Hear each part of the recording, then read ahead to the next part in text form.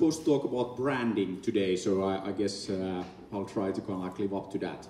The Rovio business is actually super simple. We have two things that we need to worry about our fans and our brand. But uh, if you look at uh, Rovio and you look at Angry Birds, uh, the way we built the Angry Birds brand, it's actually very different uh, from how a lot of these, uh, let's say, older and more more traditional brands, how they built uh, built their their brands. And, and Angry Birds is yeah, probably we're the, the fastest growing uh, consumer brand ever if you look at kind of like the brand awareness and all of that. But what makes it very interesting is that uh, we did it very differently. We did that with the games so starting there and as i mentioned two and a half billion of those games out there.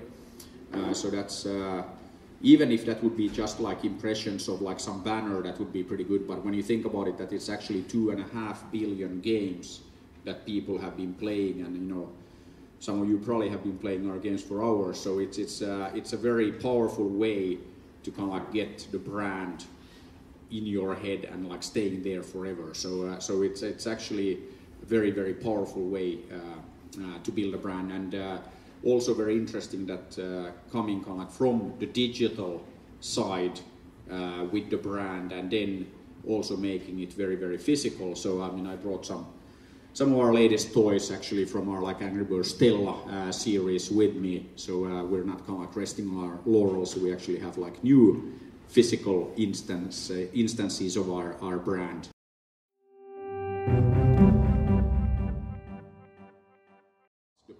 Is that with hundreds of thousands of games, even if it's a great game, who cares if nobody knows about it?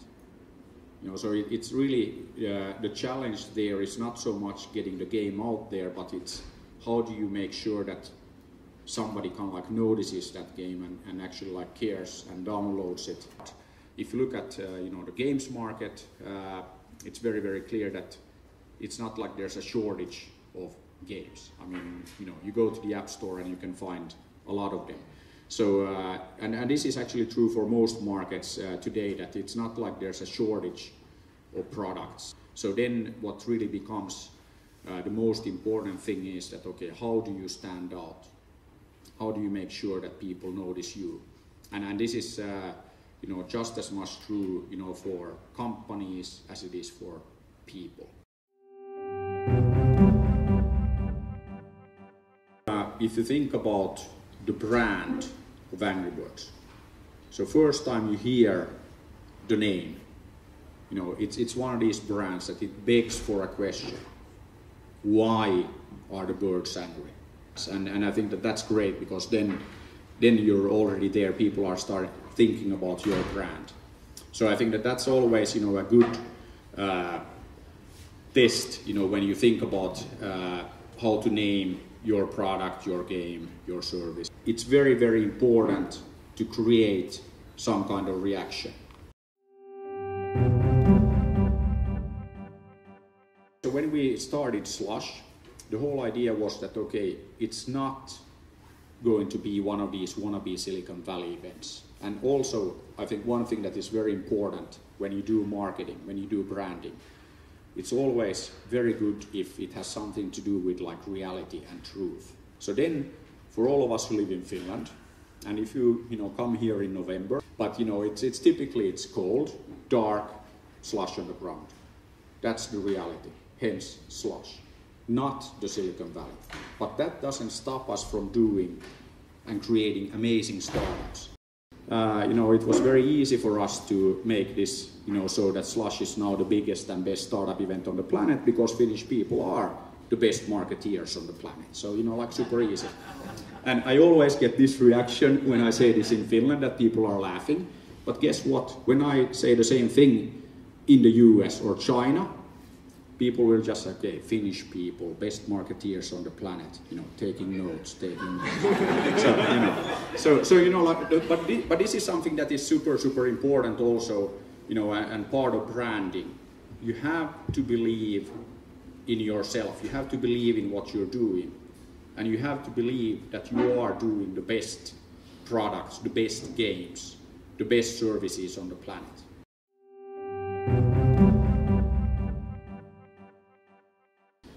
The story. Uh, you always have to have a story to back up, you know, the brand.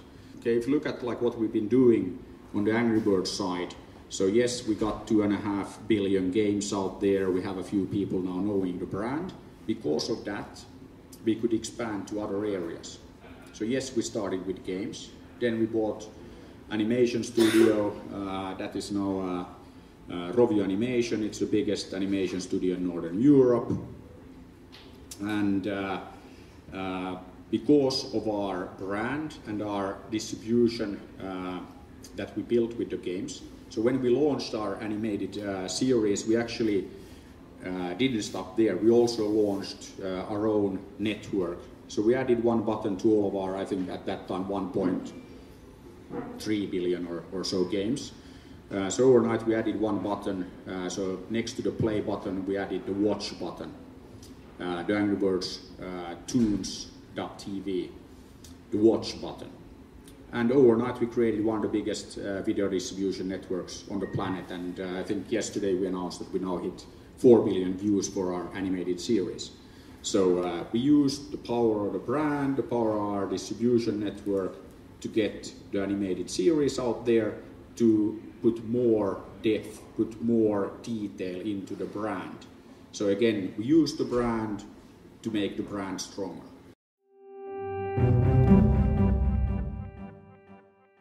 How many of you guys have heard about the Moon Festival?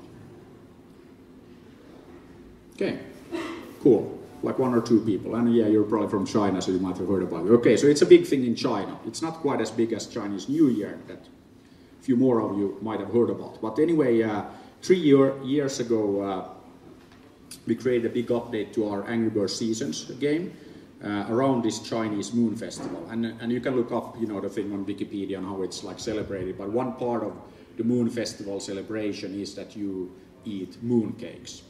So we also incorporated that into our game. We did some animations and we created Angry Birds mooncakes. So Angry Birds branded mooncakes, so we've been now doing that for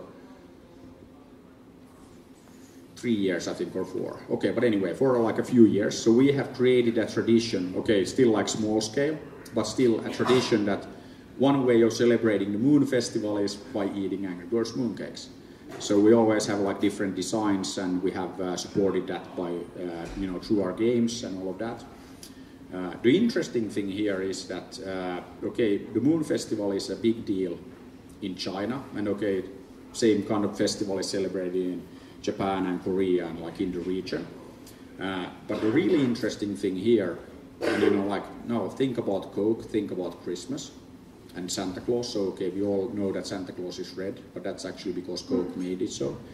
Uh, when we did this Moon Festival uh, update to our game, tens of millions of people outside of China, first time ever that they hear about the Moon Festival through our game. And then looking at what is happening in the world, there's a few uh, Chinese people, as we all know, and there's more and more Chinese influence. So in a few years' time, who knows, but maybe you know people all over the planet celebrate the moon festival by eating Angry Birds mooncakes because that's the thing that you're supposed to do. So uh, those are the kind of things that we are thinking about, like long term, you know, building a brand, building habit.